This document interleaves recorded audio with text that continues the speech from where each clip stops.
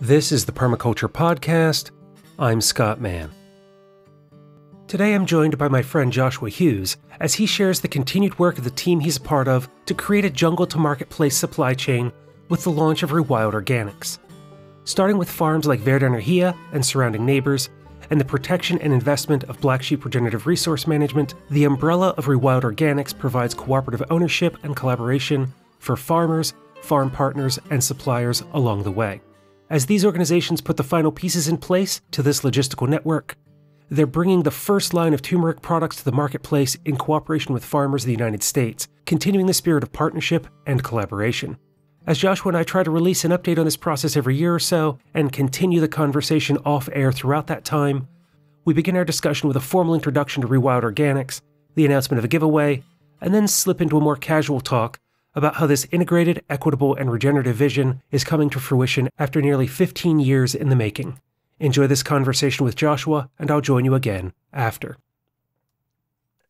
Then, Joshua, as we get started, over the years, we've had a lot of conversations about your work in the jungles of Costa Rica with Verde Energia and what you're doing to grow and build farms and helping your neighbors. We then moved on last year. I got to meet with you and Amanda in person outside of Washington, D.C., where we talked about what you were doing to kind of expand Black Sheep regenerative resource management into the world. And you were talking then about how you were bringing hundreds of thousands of pounds of turmeric from the jungle into the global north in order to bring these products to market so that you can then return some of that wealth and capital to the farms in Costa Rica and to your other partners. And as I understand, you've now launched Rewild Organics as kind of like this brand to bring all these products to the marketplace.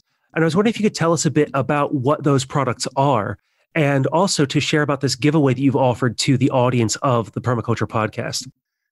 Hey, Scott. Yeah, turmeric has played a major role in our agroforestry practices in our Costa Rican farms. And that works out perfectly up here because the value added products that we can make from it are in high demand in the north.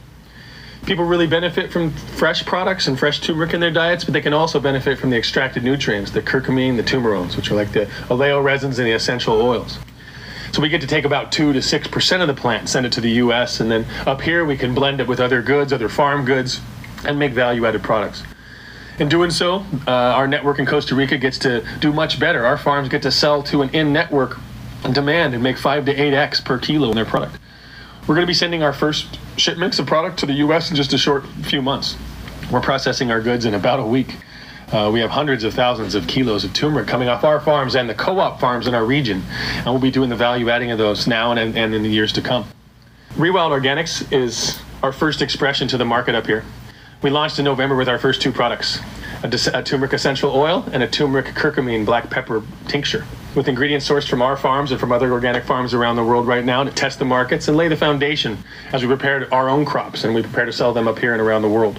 After 14 plus years of developing the regenerative supply chain, we're finally preparing to put the last pieces of this puzzle in place. It's a true full spectrum permaculture from the farm to the face, as I like to put it. And we're, we're offering now a giveaway of this first product. We're offering 50 bottles of the turmeric black pepper tincture to uh, your your listeners and our family out there. You may have heard that black pepper increases the bioavailability of turmeric, and that's why we've included it in this blend. So we're happy to offer this to your listeners, and we're happy to be giving away these 50 bottles and excited to hear how people feel about it. What are the ways that you use this or that your customers are using these kinds of products in their lives? Well, this is our first product. So this is more like a you drip it into your mouth. It's got a distinct flavor. People might drip this into their smoothies or something. The essential oils go on the skin, but this goes in the mouth. So we have other products coming soon. We're going to have a fortified turmeric powder very soon, so people can use it more in cooking. It's going to be a turmeric powder enhanced with extra curcumin. We have a pill coming soon, so people that really can't read those bottles or, or count the drops have an opportunity to take this. There's going to be a lot of ways we get this into the body. But this tincture is the most effective way we could we could roll this product out. It's simple, it tastes nice, and uh, it absorbs well going in, into the mouth. If you can absorb it before it goes down the esophagus and down into the stomach, it's good. You're going to get a higher higher absorption. So that's why we made this tincture at first. But we're going to follow this product up with more ingredients for the kitchen. We're going to have fortified powder in a few weeks. We're going to be doing the R and D on that. So, and for anybody who wants to find that, they can go to rewildorganics.org. Rewildorganics.org is live. Yep, that's our website. And soon we'll be available on Amazon and a bunch of other websites, but we're, we're rolling out now on our And then for anybody who does want to enter this giveaway, just go ahead and send an email to show at thepermaculturepodcast.com with the subject turmeric And then I'll add you to the list. As I say, the first 50 people who respond to this will get a bottle of the Rewild Organics turmeric tincture. Yeah, I'm excited. I'm excited to get people out there taking our products. Many years in the in the making, and this collaboration from our farms and the farms all around the world, frankly, is is something that's uh, it's been a dream of all of ours, and it's a way of bringing farmers into the the full spectrum of this game. So we're not we're not left behind, and we're not leaving people behind. Real quick before we get to the rest of the conversation, in setting up this giveaway, I'll need to pass along your name, email, and mailing address to the team so they can get in touch if need be and get a bottle of tincture in the mail to you. Also, for the folks who aren't among the first 50, they'd like to offer you a 30% discount code on a future purchase. If you're still comfortable with me passing your email address along, feel free to enter, or let me know if you only want me to share your information if you're one of the first 50. So, Joshua, with your launch of Rewild Organics and spending all this time in the States again, how is it to experience winter in the Pacific Northwest after so long in Costa Rica? I've never, I haven't been. Okay, I went into like PriceSmart, which is kind of like the Costco in Costa Rica, and I went into the mm-hmm. milk area. that was the coldest I'd been in 14 years. So yeah, I know. I, I, I was, I was back here last winter. I was supposed to be here just for like the beginning of last winter and head back to Costa when COVID happened. Thought I'd get like maybe a half a winter in, but I got a little bit last year. But uh, this year i am like not on the road. Last year when winter was here, I was in Southern California and out driving around where it's a little sunnier. But being in Oregon now um, and spending a, a December and now a January coming up, it's going to be cold. Um, and we we have our our products all just showed up from the co-packers, and we're doing our first distributions of products out to the world. So we built an office and distribution center in the garage here. So I'm uh, I'm sitting in front of propane heater trying not to freeze to death.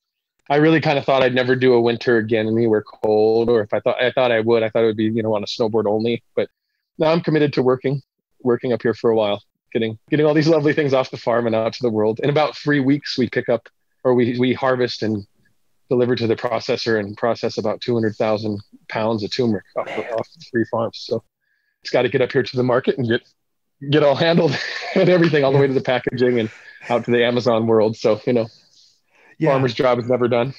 If you're not harvesting, you're planning. If you're not planning, you're planting. If you're not planting, you're managing your fields.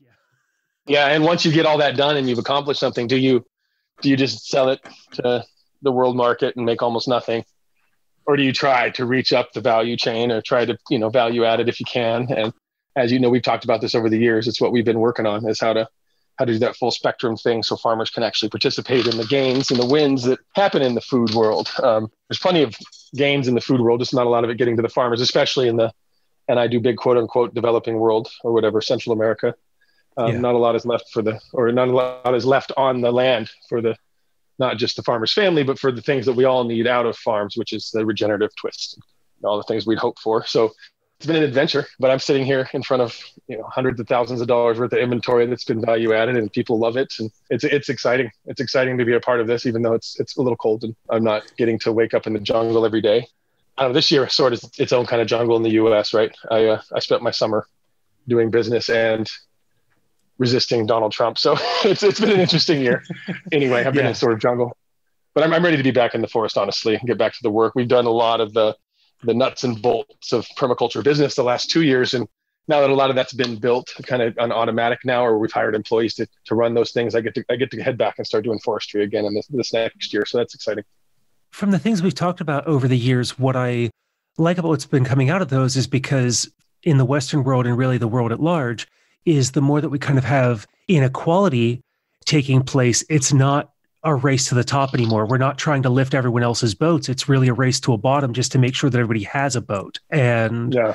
you know, doing this value add and the work that you've been doing to return resources back to the jungle really does help elevate your community and give assistance to people who aren't going to have access to things like crop insurance or all of these yeah. other pieces that bolster Western agriculture while still leaving a lot of people in the dust you know, I think about many of our friends who are doing forest farming and permaculture practices, and a lot of people engaged in regenerative agriculture, they don't have access to crop insurance.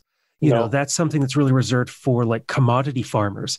And it's been interesting following a local agriculture reporter here in DC has been really digging into those kinds of numbers where, you know, your commodity farmers often those farm families are are millionaires and, you know, have millions of dollars in assets. But when you look at the people who are really trying to do this work in a meaningful way on small holdings, they're the ones who are trying to scrape by on thirty or forty thousand dollars a year gross while having a family and everything else that goes with it. When you try and take a risk as a small farmer, the the bank doesn't know how to do it if it's not insurable. Like you said, it's been a challenge, and we're doing things that are the way we have to insure our crops on this level is a bunch. It's a bunch different. We insure it by diversity. I insure it by polycultures on the farm. That you have to think about it differently, and insure it like I have a turmeric crop, but I also have turmeric co-ops and networks throughout the whole country of Costa Rica, so I can fall back on if I do have a failure. I don't want it to cascade through the whole supply chain as nobody wants. It, it is a different kind of insurance we're building in, and it's a different kind of risk management. And there will be those crops that do fit into that model. But when you are value adding a good, it's the insurance is be, it's better than having insurance to be a part of the, the retail good. That's the kind of insurance I like. And in the, the value adding we do is a way of preserving crops and and uh, getting them shelf stable. That helps. That helps on another side too, where we're we're really directly involved in that. Like we're investing right now in in equipment uh, for farms and in processing systems for the co-ops and the networks. And the closer that is to the farm, the less spoilage the farm has, the less the, the less risk they take there. So it's tough not being able to go and play with the big boys and girls out there. But we're not we don't have a level playing field here. But if you choose to get engaged in the supply chain differently, there's a different kind of insurance. It's the same kind of insurance we talk about all the time in permaculture world, community, nature. You know, I'm, I'm falling onto a lot of those things. I insure my soil by planting diversity and having trees that help feedback loops and build nitrogen, or fix nitrogen for me so that my next year's crop is healthier. I, I don't have the same problems with disease at scale because I don't do monoculture. So, you know, it, it's a different risk management in this world. Yeah. And I think about this kind of soil based investing. It's something that Ben Falk wrote about, you know, about 10 years ago at this point. You know, do you put $20 into the stock market or do you put $20 into a fruit tree that will begin paying you in a few years? And in the end likely provide more food over that tree's lifetime, not counting seeds and what else you might be able to do from it, than just that single financial investment in the markets. And the way that we can create, you know, these polycultures within our entire view and outlook in the world.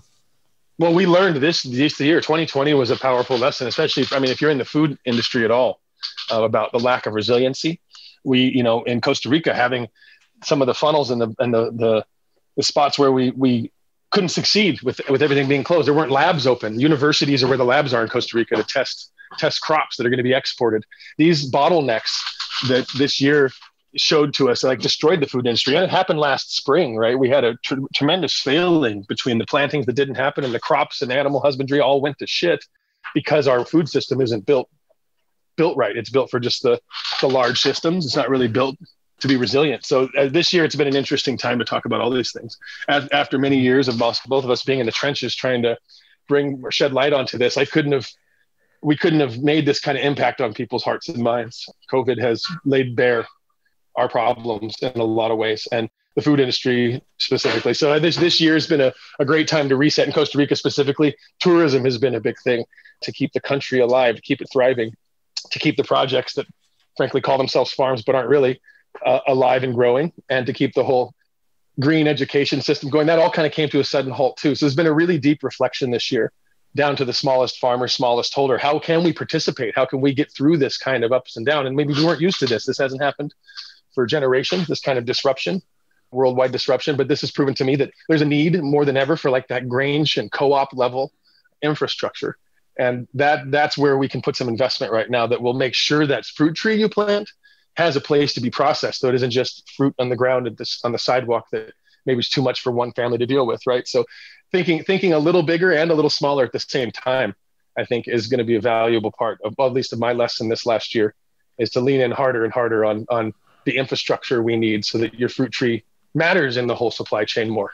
You know, it's hard to just can food with your family. We did this in my family as I grew up, but there was like a month, month and a half a year where we were dedicated to preserving food and that's not something most people can do, especially if they're trading their time for money. It's an interesting thing, and we, we at Verde Energia we we experimented with a lot of these things that are at the farm, hundreds of ideas, and how do you how do you have that fruit tree in the front yard and make it work, not just be you know 99% wasted apples and a few fresh ones when I walk by, um, or just a few pies a couple times a year. Like we we've been trying to integrate all these things, and I think we've kind of found a sweet spot with certain certain things, and we're going to keep uh, we're going to keep pressing and investing in those those spots so that infrastructure is there for the next time or frankly so this doesn't happen again we don't need to fail in the food system. And looking at those systems and the various crops that you have growing on the farms, does that lead you then to look at like what products will be used locally, what will be used regionally, nationally, and internationally? Well, for us down there, we have like a kind of an eternal spring, and I, I have a couple months of dry. So down there, we have a little different thing. We don't have winter. So I, and that's one of the reasons I went down there. I wanted to see what would happen if I, if I got to work with trees in a, in a more year-round fashion. So we've really leaned into tree tree culture down there. And as far as local food goes, we're very like our, our neighbors eat well because we've we've all planted and learned from them how to how to groove with the trees, the protein, the things like pejibaye and bread nut and uh, breadfruit and jackfruit and these high produ- high producing fats and proteins that come out of the jungle. This has been another focus of us on a local level. A lot big problem with the tropics is it's hard to grow.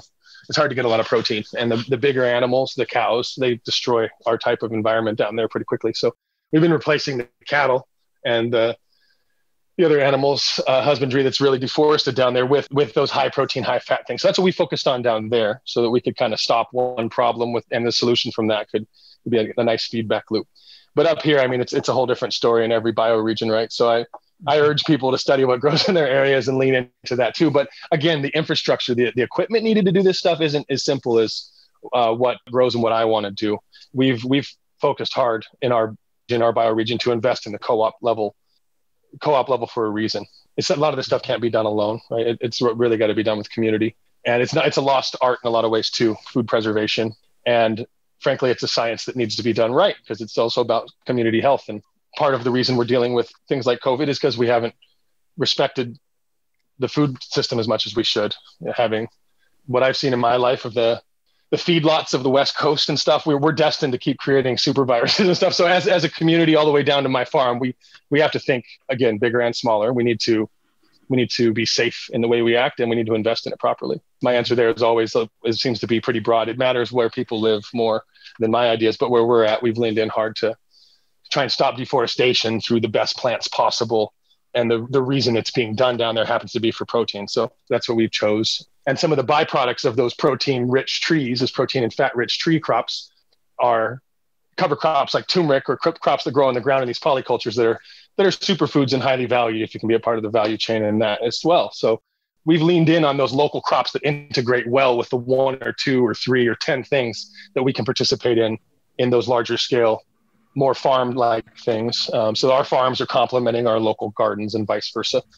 And looking at our food system and the infrastructure that's involved, and you building up both Black Sheep and Verde Energia and your current work with turmeric and value added products, what are some of the things that you see currently and on the horizon for places that permaculture practitioners and other people who are interested in regenerative agriculture can be making some of these investments in the infrastructure and what we need collectively yeah. to move forward? Well, you know, there's a ton of systems to integrate. I spent half my morning on the phone this morning with people that are doing really well thought through and actually quantifiable ways to do things like carbon capture. So trying it's it's it's not going to be as uh, as simple, but it's going to be a little easier because of all these other integrated steps that we can take in the long run. But but I would say that we need to invest in co-op level agricultural value adding, like we've done. we started a farm, we started a project, and we didn't know what we didn't need yet. We listened to our community again, not knowing what we didn't need. I moved to Central America to a community I was totally foreign to, had to learn how to even listen uh, in the language. So I took a lot. I took very slow steps. It took me 14 years to develop a program that got me to the point we're at. Like this wasn't something you could invest in overnight. So I invested in my community, and then I invested in the things that my community loved. That's the broadest strokes you can paint to like get people to actually engage and move some of the money that's sitting in their bank doing nasty things. Like me as a as a liberal activist in the yesteryear, I would earn money at my job, and then I would I would go sign petitions at Saturday markets and give a few bucks here and there and donate to help people. But my savings account was really aggressively mining in the Congo to get its 3% or whatever it was getting at the time. And I, I, had I had to reflect on that deeply. I had to look at my own life and do an audit about where I was making and saving and storing wealth in my own life. And when I did that, I sort of started going a little stir crazy about how much I was participating in the things I didn't enjoy, enjoy or agree with. So I, I got very active in my own finance and my own plans and my long term, short term, medium term, the way I thought about money and wealth? The big answer again, being a permaculturist, you know, it's always one answer leads to another question. but at, at, the small level, I started living simply and I started figuring out where I needed to invest. And I did kind of a radical thing. I jumped off grid with, you know, a couple hundred friends and, and did what a lot of us t- do, you know, probably dream about when we're at a festival or something with our buddies. um, we really did commit to doing that. And what I found is it's a bunch of simple answers. It wasn't the extreme things that did the most. So i I'm, I'm investing in the simplest spots. I'm investing in what my community loves. It started with the water. It started with the forest. Started with the animals. It circled out from there. But the, at the base of it, we did buy a farm and we knew we'd be involved in food creation. And most of us weren't farmers. I've been very open and invested in the young people with with good ideas and good training. I've, I've, I've invested a lot of time and money, whether that be in the form of scholarships or just having an open source space where people can come and live, into young scientists, into people who who are normally going to kind of go into the Fortune 500 world and get their jobs after school. I've taken time to invest in that and build serious relationships there because I think they, they're going to have the ideas that are actually going to change this. I'm 43 now. I'm not too old, but I'm gray. And I'm, I'm leaning in now as hard as I can into the 20 somethings and I'm getting them the opportunities I can. So we've chosen to make all our projects very open source in the way that they're owned as well. So Black Sheep and Verde owned in whole right now, maybe we're owned by 140 people total, our seven little projects. And we're going to keep pushing that diverse and broad ownership model because then decisions can be made and choices can be made that aren't just me and Sarah and Amanda's brainchilds and a couple of people at our farm, but that dynamically grow and evolve with the new up and coming people. That, that Verde has really thrived. My main farm, Verde Energia, has thrived because it's been open and evolving in an open and evolving community hasn't just been this solid constitution I wrote 15 years ago. So we, we know as a permaculturist, I've really learned to to learn from my processes. And we did this in a way that was debt free. So we've had this luxury. I don't envy what a farmer who already owes $5 million for big equipment and stuff has to do to change what they're going to do. That's going to be a deep long term plan and reflection. But as we came to this as activists and we came to this as foresters and as animal lovers, you know, it integrated pretty easily into our systems because we didn't come to it with a bunch of preconceived notions and a bunch of heavy debt and burdens to already service. So, so I, I do have that luxury when speaking on this. Um, I, like I said, we, we're here up here in Oregon now, trying to help farms transition. Much different bear, and what they need is real money. We need we need people that aren't just green thumbs to show up at permaculture uh, in, into the permaculture scene. We we really need more lawyers to show up. I really need more finance people and accountants and people that really care to use their, those arts to help leverage what the places like us and similar projects all around the world have been learning and, and help us leverage them right now. Because most of the people that are best good at what I do or good at what we do in our team aren't the best at some of those other places, and we're not either. I'm, you know, I don't come from venture capitalist background, and when I sit in those meetings, frankly, it's mostly disappointing because uh, there's a there's a lack of understanding on all sides. So I, I would I would hope that permaculture gets a resurgence now and that we all push this into a much broader community that brings in those financial people, that brings in the legal minds and the science minds that we need right now. It's not rocket science to scale agriculture, right? It's already been done. It's just been done pretty unconsciously in a few ways and in a centralized way. Um, I, we can, with the right money, it's it's actually pretty. E- what is it? Simple, not easy, to do this. We're fortunate that over the last decade or so, there are a lot of new models that have emerged about what agriculture can look like on the small scale that yeah. can succeed in places like here I am outside of Washington, D.C., where property is ridiculously expensive. yeah. But where partnering with some folks, you know, maybe an hour from here who have some land, people who have some means can make a much bigger difference because someone can operate a market garden that will have a substantial return that it but that it looks completely different from commodity agriculture. You know, how do we show that those models are something that people can invest in? Make it so that banks are less afraid of making those loans and getting past some of the history in the United States of how land access has been towards people with more privilege of a certain skin color through various policies and how do we break open to anyone who is interested in this and help them do it again you know on a different scale in a different way? Yeah, well, you know, there's something we we've been talking a lot about in our crew this last few months as we've been asked to scale what we're doing and what that even means. Because what you just said, there's like these different levels of scale. We, we we're thinking on our farm one way, we're thinking in our co-op another way, we're thinking in our international distribution and retail products in a little different way. But when you're going to invest money in a local system there near DC and if the land costs a ton, your model is, like you said, grow uh, diverse vegetables, uh, superfood things that people can get right at their market that can make that farm some money. But you can't grow corn there, right? It's way too expensive per meter. to grow something like corn or beans or or a commodity. So we're figuring that out in the forestry thing too right now of being open and not so stubborn with your own mind when you go into a land project or you go into an area to where's best to scale that idea. If you're going to do big forestry projects, you can, even if you're in DC, but maybe that big forestry deal is 300 miles away. Maybe that's, or it's in Michigan or it's in Costa Rica. You have to be okay with being bigger with your ideas and kind of, we're, we're now doing this with our projects. Like the one project's great for a farm, but not good because of the cost per meter for my forestry idea. So now I'm putting a farm right here and 25 miles inland. What, is, what did our, our lawyer say the other day? T- turmeric doesn't need a view, right? Like I don't need to give it a view of the ocean, but my community does. My mom would like a view. She doesn't want to just you know stare at the field all the time. So we're we're learning how to like think bigger and smaller at the same time again, doing it where it best fits. And you you can be involved in a commodity. Maybe that's because your DC farm is also investing in a Nebraska farm um, as its commodity area and affecting that space we're learning to find the best leverage points when it comes to like the real estate acquisition for what we're thinking about, not just trying to have it all in one spot because you really can't anyway. And by having that patchwork, you also open up this opportunity to more people where they are, not yeah, necessarily having yeah. to come to you or anything like that. That's I don't want anyway, right? Like we we have our little beautiful paradises where there's less people. I don't want a flood of people coming to Costa Rica, Campo. I don't want a flood of people I'm sure they don't want their culture to change a bunch in Nebraska, but they'd love a reason, I love, love choices and ways to stay home if they do want that. And that's something that we've learned. I learned a lot personally doing the projects in Costa Rica. My ideal situation when I moved down there and creating this idea versus what people really want and meeting them where they're at. And and really just diving in on a piece of land and yeah, this excited young permie going out and like thinking I could do everything in one spot. it's been laughable, especially when you get experts in and they're like, hey, you know, what you're thinking about is not going to work here at all. And if you're, you know, if you're stuck on that, you could probably go crazy or break, break yourself trying. And I've learned to not do either and to count on experts and my friends and people in my crew. And so we're, we're investing in more places now, which also builds in resiliency for things like weather shift and climate change and all sorts of things. So mm-hmm. the diversity is good. And with this co-op model, you know, when I think of co-ops, I always think of like mutual aid and some of those community organizations, but not from like a business perspective.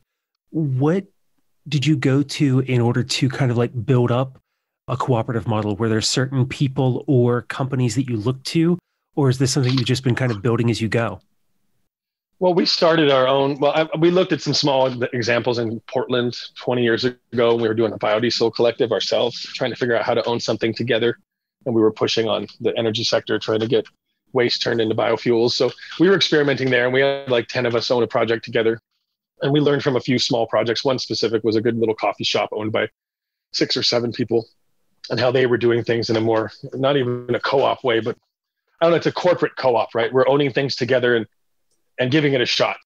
And as I kind of backed out of that and, and got into Costa Rica, or we, we shifted our biodiesel focus from the production to the, the farming and wanted to see what's possible there. That's evolved into higher value oils. But all that aside, I I got to Costa Rica and there was a very heavy co-op presence in my region. Even in my kind of depressed region of Puriscal, there's 4,000 members in a co-op there in the Cope Puriscal. And there's another uh, CoopeAtenas, a large, uh, large coffee co-op that dips into our region. And, and the, I saw how it was helping people not just sustain themselves, but build themselves up, build their families up and help pull them out of poverty and get their land into use. And, and, but the, even then it like those, that level of co-op 4,000 members, it, it's not personal enough. So there's not a lot of, know, the co-op wasn't able to come and pull you up. You had to really show up yourself. So in my area, I could see how the co-op would help the people that were really motivated, but the people who maybe didn't even have a motorcycle to get to town and people who couldn't even get to that level of infrastructure at their, in their family farm to produce something to get involved in the co-op. There's like a missing link between the co-op and the smaller farmer even. So as we spent time out there and just listening and going to meetings and being a part of the the system out there that was helping rebuild the forests. Um, we got involved in this in this zone of protection for the scarlet macaw, and the farms there accepted us in as we did forestry. And a gringo's not even allowed to be in the co-op officially, but in the forestry world and the work we put in there, and the amount of volunteers that showed up with smiles, and uh, amount of gringos that showed up with real compassion, like four thousand people showed up at Red Dinner. He had to help with these forestry projects and stuff. So over the years, we just showed up, and the co-op showed up for us, and they started giving us grants, like no strings attached grants, just to get things done organically in the campo.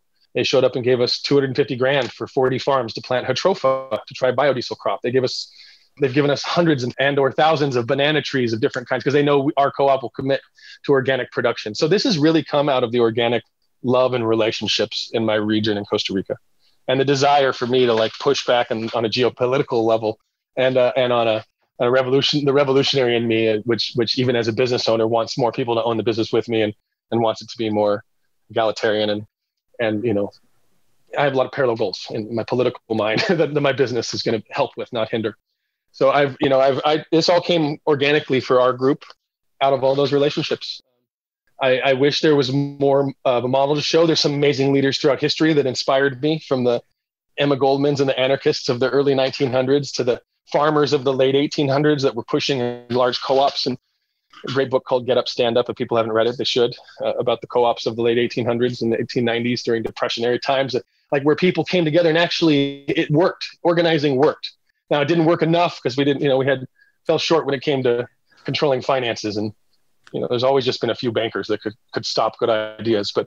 But we're in a different time now. We're in a time when we can bypass bankers, as cryptocurrency has shown, as as global markets have shown. We can bypass certain regimes now if we choose to by just moving countries. So I've uh, I've got a lot of hope in that in the leadership of the past, but I, I didn't have a lot of blueprints to look at for how you integrate like the really small farm, how you integrate the family owned or co-op neighborhood. Because we're really our first farm Verde Energia. It wasn't really a farm first. It was the little neighborhood that built an agroforestry system. And like, how does that integrate into the greater thing? Well, it needed it needed two or three more farms in its area to balance out its production and what it needed. It needed more, you know, a little more elevation. It needed more water here, a little more shade to do what it needed to do. So it took some time to figure it out, itself out. But but the way it, it clicked in with this community and the way that we interface with like the the Americans is something that like our co-ops were kind of lacking access to that as well in Costa Rica. So we've we've chosen to be that conduit that that connects co-ops to to serious investment. We've been trying to explain this and spending a lot of money explaining regenerative ag to people with with capital to hiring accountants and lawyers to come live in with our permaculture farm for years and, and then quantify this work and help us build out systems that actually work. So this isn't just an activism, but a business that makes sense. This came out of that. I wish I wish it was as simple as there was this thing I read and I, I worked with this organization. If there was, I would have done this 10 years ago and I probably would have worked a lot less. But Black Sheep is, has has like filled in those gaps that we needed as farmers, that we needed as activists, and we needed as, inv- as investors. And what we've done, we're here to share. Again, I've said this before on your program, and I mean it. And a lot of people have followed up with me from your program. If we've talked before, any listeners out there, call me again. Call me back, please. I, am busy, but I still love dropping in with people with 15 minute drop ins on how, what you're up to and how this is working for you. Because we do this for everybody, and we're open sourcing all of this. So call me up if you want. I'll send you uh, send you access to our data vault, and y'all can dive into our 150 pages of pro forma and business plans that explain all of this down to the nth, which has been one of the I, guess if you say there's any magic in this, there's there's a little magic in the fact that we've been willing to take the risk and invest in that, which a lot of small holders can't do. So we're here to share all that now, so other holders can. This reminds me of that thought that you know, in your case, it's only been 15 years to an overnight success and to have all of this. I read, that. I think it was Marx that said this. It, for some de- decades nothing happens and then some weeks decades happen mm-hmm. um, yeah.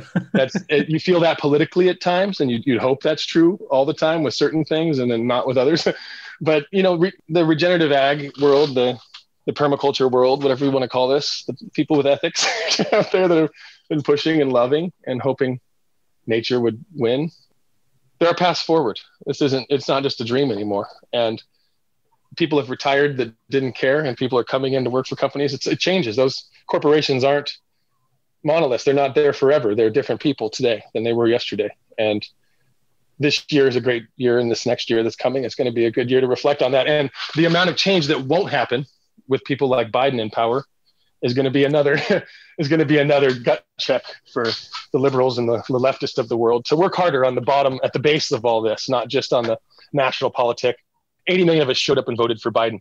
Most of us did it with our nose plugged, I'm sure. I worked hard for the man and I voted green, but it's about those 80 million people that we're hoping that we need to remember that that, that national election is not, the, is not anything hardly. All that does is maybe shift the rhetoric a bit for a minute, but it's time to get to work. And the, this year, I think, is going to be really telling in that it wasn't just Trump. Trump wasn't our only problem, right? Mm-hmm. And a mm-hmm. lot of us have been in the trenches for decades And uh, I don't want the energy that was like change has to come over this last year to stop with the Democrats. So I'm, I'm i partially came on your show because I want to say I love everyone for voting and showing up. And now we do the work and contact me because we're doing more of this and we're expanding this. And frankly, in the last month or two, things have exploded for us. Um, surviving COVID as a company, as a group, as a team has it, it means something. And being around, like I don't know, just surviving this year has brought people to the table. I, I'm getting investors on the phone every day. I'm getting clients on the phone every day. People that are switching their where they want to buy their ingredients to us. We, we have about 200,000 pounds of turmeric coming out of the ground in four weeks. So if anybody out there needs turmeric, please get in touch with us. And our, and our new company, Rewild Organics, just went live, rewildorganics.org.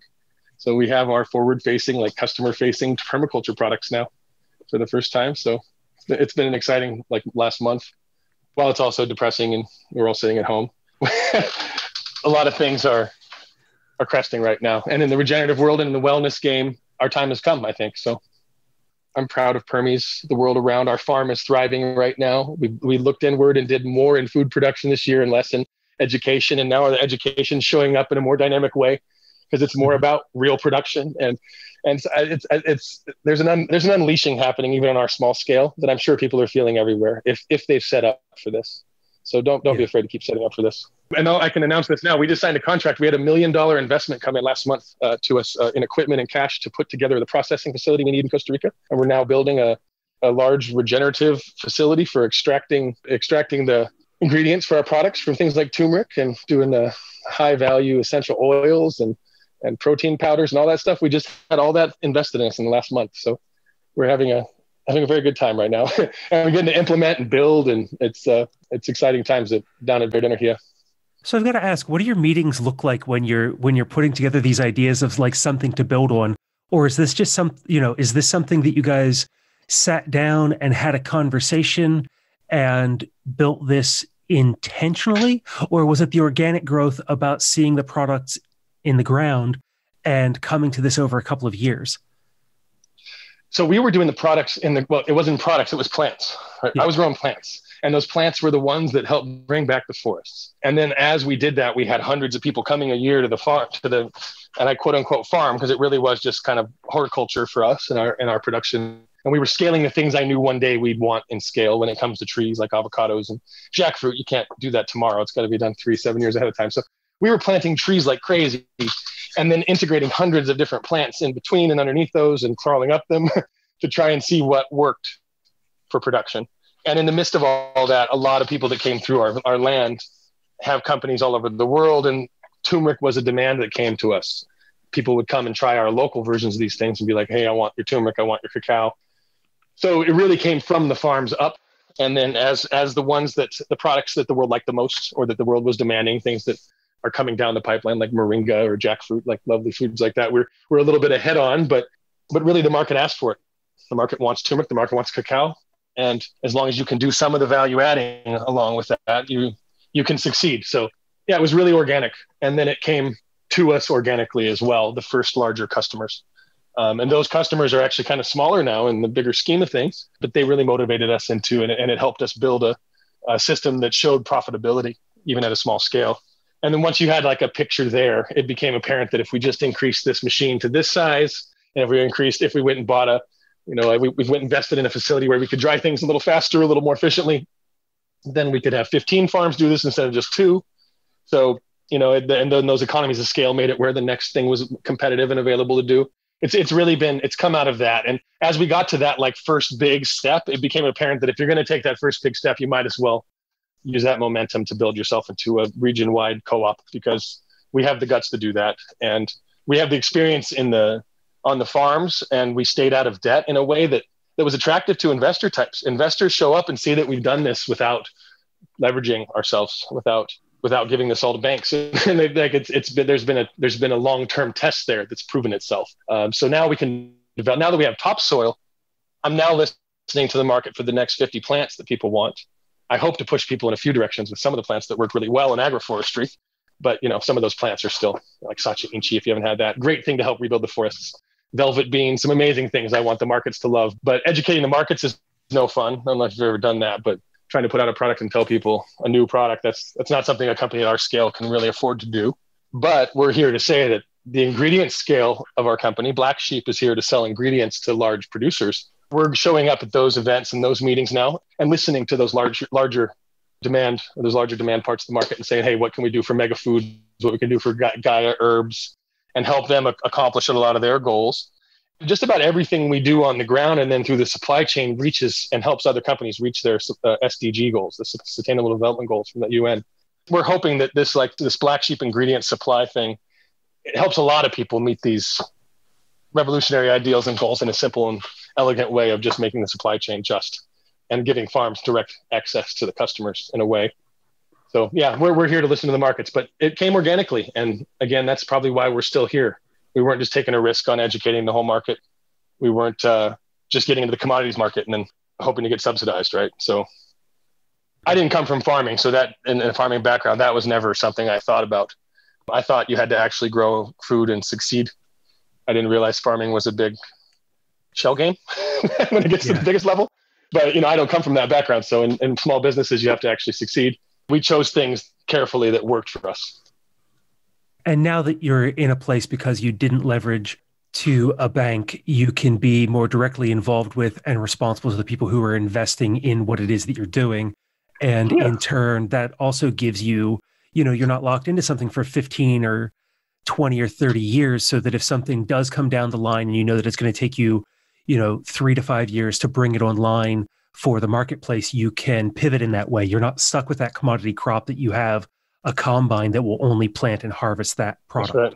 yeah. so far we've chosen to to use and buy equipment that's very versatile the stuff that works for turmeric works for like 100 other crops that i know of right now the stuff that powders it dries it we're investing in that like point where it's pretty similar machines. When you get directly onto the farms, it's another thing. And farms will have some needs that are very expensive one day that need to be right there on that farm, whatever. One of the engineers we're working with now is off, he's going off to New Zealand soon and he's building robots that do, that can handle, can drive down a row between trees, harvest and or prune trees on both rows and in the middle make a bed and harvest and or plant that bed so there's there's going to be some cool technologies that come in the regenerative world that are going to be expensive, right? So I'm not I'm not afraid of where those have to be invested in. I understand that's going to lock some people in on ideas for a while, but polyculture ideas I think are going to be the more resilient ones. And and yeah, combine that just works for corn. You're pretty much a corn farmer forever, I think, right? Or or wheat or whatever. So yeah, we have designed in polyculture systems so all the sh- machines we need are very versatile um, so far. that being said, soon enough, I you know there's other industries that we're getting into things like hemp that I'm sure we'll have some very specific things. Costa Rica just uh, legalized all all cannabinoids, so planting something like 30,000 acres of hemp this year. So little little different scale there, but but yeah, we've we've chosen to invest in things that are very versatile for a reason. Again, because it comes from the farm up. If this came from like the investors down, it might be pretty specific, but but we're farmers at heart. Before we draw our conversation to a close, where is everywhere that, that people can find you? We, we've got rewildorganics.org.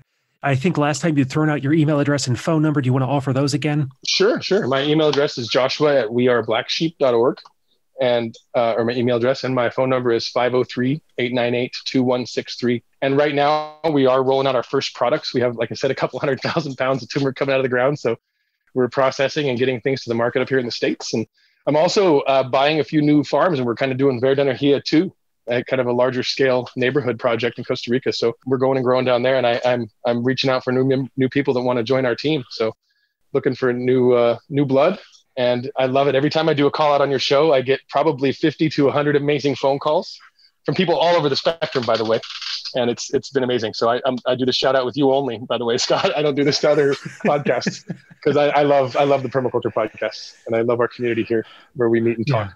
Well, I love last time Amanda joking with us about how it's like I'm just so glad he was able to sit down and talk with you again because he just won't stop talking about needing to do it. well, it's you know it's a slow thing to, to, to talk revolution with just the same 50 people or 10 people in your community. And when you and I can communicate and we can communicate with all our friends out there that listen to this, it's a like we get to build relationships quickly and I love podcasts.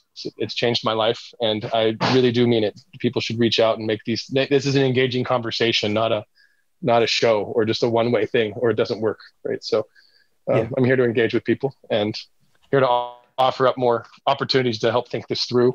Um, I'm going to be involved in a few panels in the next few weeks, I guess, on our website at uh, weareblacksheep.org. Again, there'll be some announcements there. I'd love to love for people to participate and and uh, yeah, so I'm here. I think now you are the person who's been on the show the most number of times, but I always enjoy our conversations and everything that we talk about. So thanks for sitting down with me again and, you know, have another chat. I really enjoy and love permaculture to the core, and I love communicating with people about it. Uh, it seems to be my calling in this world. So I really appreciate it. I love I love your community and the permaculture podcast community. So I'm grateful every time we get to communicate, and grateful that it works now that I'm in the states and I have a phone that works. And and uh, I look forward to hearing from people uh, out there and, and continue this conversation. And that was Joshua Hughes. Find out more about the team and products from Rewild Organics at rewildorganics.org. To learn more about the history of their work on creating a regenerative supply chain, I've linked to our earlier conversations about Black Sheep Regenerative Resource Management, Permaculture and Politics, and Verde Energia in the show notes. There you'll also find links to their other organizations.